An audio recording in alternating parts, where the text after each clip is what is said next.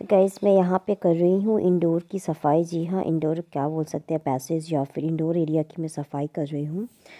और आप देख सकते हो कुछ देसी तरीके से, देसी स्टाइल से, क्योंकि क्या होता है ना ग्राउंड फ्लोर कितनी भी साफ़ सफ़ाई करो, बहुत ज़्यादा गंदा नहीं जाता देखो, अभी मैं झाड़ू से साफ़ कर रही हूँ तो उसके बाद भी देखो कि मैं वाइपर से करूँगी, तभी भी इतना ज़्यादा निकलता ही है।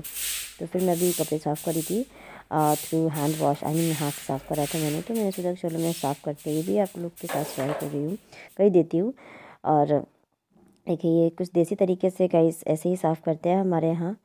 और, इस तरह से मैं बैठ बैठ के कर रही हूँ। और ये एरिया जो है लेफ़्ट साइड में, वहाँ पे पानी है हैंड पाइप है। एंड राइट साइड में पूरा एक ऐसा ही एरिया है।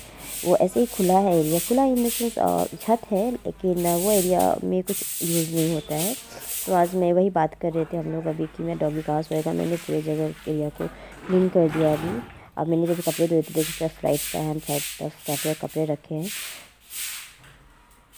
तो मैं कुछ इस तरीके से ही अपने घर को और पानी से अच्छे क्लीन करती हूँ। वंस इन अ वीक में करती हूँ कर, करती ही करती हूँ। तो आज मैंने जस्ट आप लोग के साथ शेयर कर किया है। ये इस टाइप का मेरा आई थिंक फ़र्स्ट वीडियो होगा इस टाइप का। और देखिए मैं अभी भी है और मैं इतना संभाल के चल रही हूँ देखो इसकी पाइप से भी दोबारा से डाल के करूँगी साफ़, क्योंकि मैं कितना भी साफ़ करो मिट्टी ग्राउंड फ्लोर में रह ही जाता है ग्राउंड फ्लोर का जितनी सफ़ाई करो, क्योंकि गाँव में कुछ ऐसे ही होता है ना बाहर की मिट्टी तो घर में आती ही है। तो आप देख सकते हो, जो मैं झाड़ू से करूँगी, फिर पैपर से भी करूँगी तो कुछ इस तरीके से ही मम्मी यहाँ पे मोटर चला के पानी भर रही हूँ और फिर, देखो मेरा क्योंकि इसे करने से ना जल्दी सूख जाता है। अभी ठंडी का टाइम है तो फ़ैन भी ऑन नहीं कर सकते और फिर मैं झाड़ू से भी जहाँ पानी मुझे ज़्यादा लगेगा मैं निकाल देती हूँ। और तो ऐसा करने से जल्दी सूख जाता है।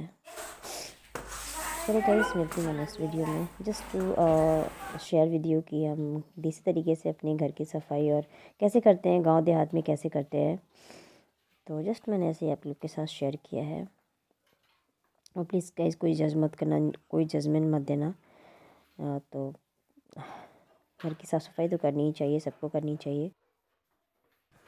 और हाँ गाइज़ मेरी जो वीडियो है ना, वो डेली आई थिंक नहीं आ पाएगी अभी, क्योंकि अभी डेली कोशिश करूँगी, क्योंकि मेरा एडिटेड रहता है, लेकिन मैं वॉइस नंबर नहीं दे पा रही हूँ।